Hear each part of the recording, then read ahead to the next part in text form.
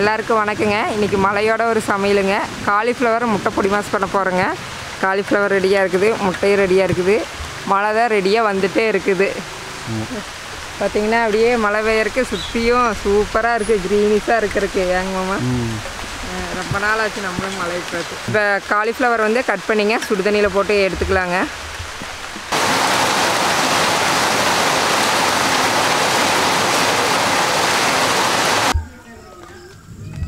இப்போ வந்து லைட்டாக மழை விட்டுருச்சுங்க. இப்போ வந்து காலிஃப்ளவர் பொடி பொடியாக கட் பண்ணியாச்சு. தண்ணி சுடு தண்ணி காஞ்சிட்டு இருக்குதுங்க காலிஃப்ளவர் வந்து சுடு தண்ணியில் போட்டு ஒரு அஞ்சு நிமிஷம் விட்டு எடுத்துக்கலாங்க.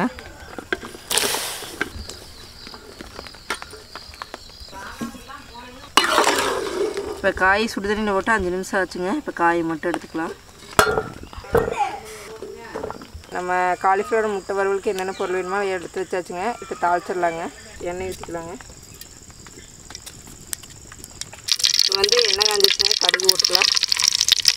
இப்போ மழை தண்ணி வந்து விழுத்தே இருக்குங்க மரத்து கடியில் சமைக்கிறதுனால மழை தண்ணி கொடுத்துக்கிட்டே இருக்குது. இப்போ வந்துங்க பச்சை மிளகா சேர்த்துக்கலாங்க. பச்சை மிளகா. அடுத்து வந்து பெரிய வெங்காயம் போட்டுக்கலாங்க. கட் பண்ணி வச்சுக்கிற பெரிய வெங்காயம்.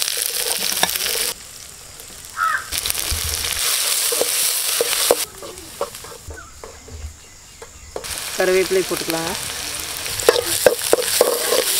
வெங்காயம்லாம் நல்லா வதங்கிடுச்சுங்க. இப்போ வந்து கட் பண்ணி வச்சுக்கிற காய் உள்ள சேர்த்துக்கலாம். காலிஃப்ளவருங்க.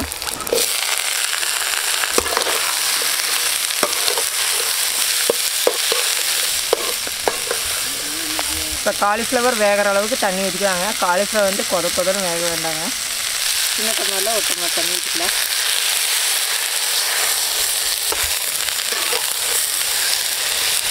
கொஞ்சமாக மஞ்சள் சேர்த்துக்கலாங்க.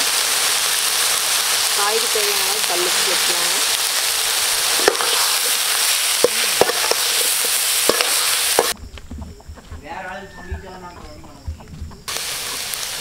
இப்போ காலிஃப்ளவர் வந்து நல்லா வெந்துருச்சுங்க. கொலைய வேக விடக்கூடாது. தண்ணி அளவாக வச்சு ஃபுல்லாக வேக வச்சு எடுத்துக்கலாங்க இப்போ ரொம்ப காய் வந்து கொலைய வேக விட்டிங்கன்னா நம்ம முட்டைப்பொடி முட்டை பொடி மாசுக்கு வந்து நல்லா இருக்காதுங்க. இப்போ வந்து நான் கரெக்டாக தண்ணி வச்சு நல்லா வேக வச்சு எடுத்துக்கலாம். இப்போ காய் நல்லா வந்துருச்சு. இப்போ முட்டை ஊற்றிக்கலாங்க ஒரு பெரிய காலிஃப்ளவருமே பத்து முட்டை எடுத்துக்கோங்க. இப்போ முட்டை உள்ளே சேர்த்துக்கலாம்.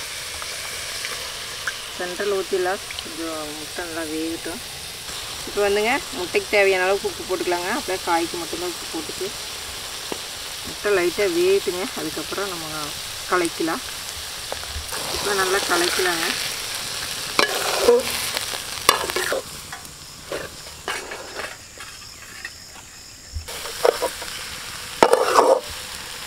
முட்டை நல்லா வெந்துருச்சுங்க. காலிஃப்ளவரும் முட்டையும் நல்லா மிக்ஸ் ஆகிடுச்சு இப்போ லைட்டாக பெப்பர் தூள் தூக்கிக்கலாங்க மிளகுத்தூளுங்க கூடவே மல்லித்தலையும் போட்டுக்கலாம்.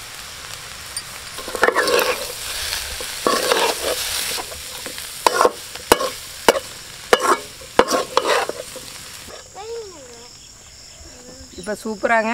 காலிஃப்ளவர் முட்டை பொடி மாஸ் ரெடி ஆயிடுச்சுங்க. நல்லா உதிரி உதிரியாக முட்டை கூட மிக்ஸ் ஆகி நல்லா வந்திருக்குது இது. இப்போ வந்து இறக்கிடலாங்க. இப்போ சூப்பராக வந்துங்க முட்டையும் காலிஃப்ளவரும் சேர்ந்து சூப்பராக வர உதிரி உதிரியாக வந்திருக்குதுங்க. இப்போ சாப்பிட்டுடலாம்.